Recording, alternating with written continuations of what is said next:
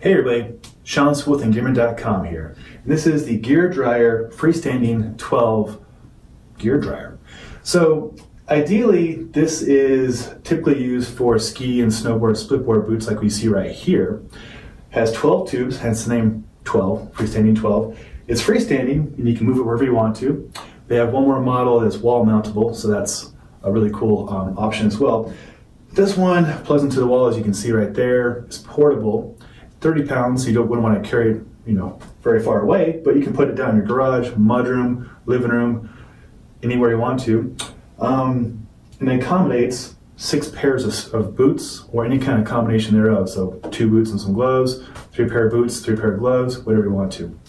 So it pushes out 200 cubic feet per minute of air. And that's, that's a lot of air. That'll dry stuff out really efficiently. And you can do it two different ways. You can do it with ambient air, which we would do in this room right here, because it's currently about 65 degrees, or you can do it with heated. So the heated element will push up 35 degrees Fahrenheit. So it's pretty significant. So we're looking at almost 100 degrees in this room if we were to do that.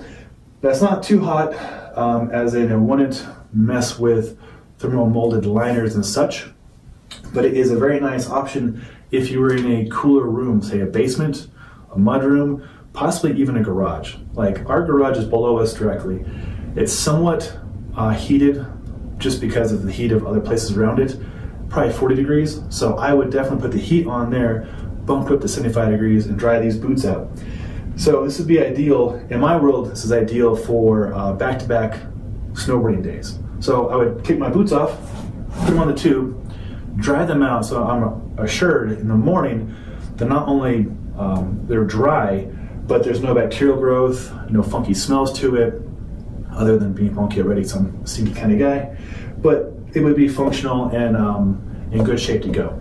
Also, a little trick I like to do is if I'm closer to uh, the trail, if I want to do some split, splitboarding or snowboarding, and it says if this is at a location with, with power, I would heat the boots up for about half an hour beforehand so they're nice and toasty to put on before I go for the tour.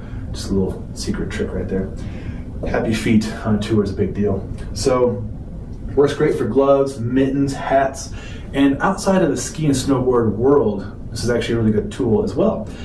Any kind of gear is wet from snow or from rain or from sweat. That's the big key here. Wet gear is bad gear. That, that's all there is to it. You want your gear dry, so it's one, comfortable, but also reducing uh, bacteria, mold, stuff like that. So crucial dry gear. So imagine you're a hunter, come back from hunting, boots are wet and everything, stick it on here, dry it out.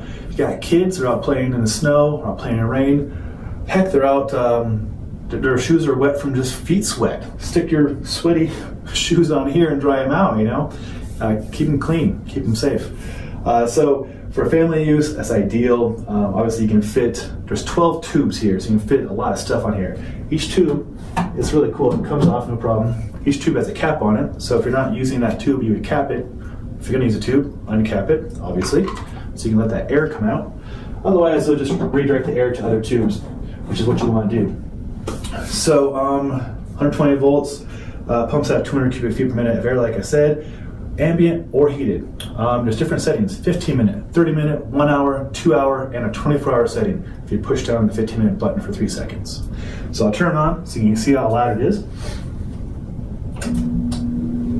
There you go. Not too loud at all, right?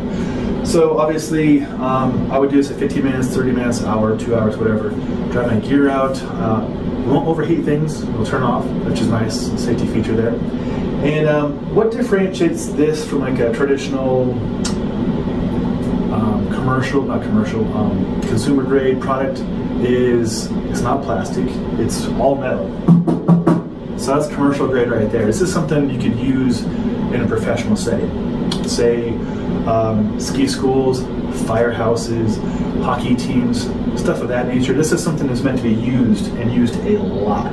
It's not going to break, it's not plastic, it just dries stuff out really, really good. Um, so, you know, an ideal application is if you are fortunate enough to have a, a ski condo in a ski town or something like that, and you rent that condo out, say, two thirds of the year. You have this in your garage or your mudroom, people are going to notice this and appreciate the fact that you invested the time and the money on professional equipment because, after all, it's a ski house. People are going to have wet gear. Um, it's nice that you might have a plastic one or whatever. That's cool. It's a great start. But having something like this is just going to put you another notch above for the other other Airbnbs out there. So it's a pretty dang good investment if you have a rental property. So um, from like a semi-pro perspective, it's nice to have my gear dry so I can go out and tour back-to-back days. Nothing worse than putting on cold, wet boots. It's demoralizing, it's unsafe, it's it's not good. so make sure your stuff is dry. Uh, so I'm very fortunate to have this guy right here to dry my stuff out. Um, MSRP for the freestanding 12 is $5.99. For $6.99 you get the wall-mounted 12 version. So if you know you're going to have it in a static location, like you own your home you, and you know where your gear room's going to be, you want mount it there, totally awesome. I would get the wall-mounted one and save your floor space. Uh, this one's ideal because obviously you can unplug it and put it wherever you want. I could take it up to my friend's place in the mountains and keep it there for a few days, bring it back home. Very versatile, very quiet. Now uh, I'll push on the heating there it is. Now I've got 35 degrees warmer air pumping through these two boots and these two gloves. You can already feel it. It feels nice. So there it is. That's the Gear Dryer Freestanding 12 MSRP 599. I'm Sean Sewell. Hopefully you found this review helpful. We'll have links below on our website with further pics and specs. And um, yeah, hope, it, hope this is helpful for you guys. Gear Dryer Freestanding 12.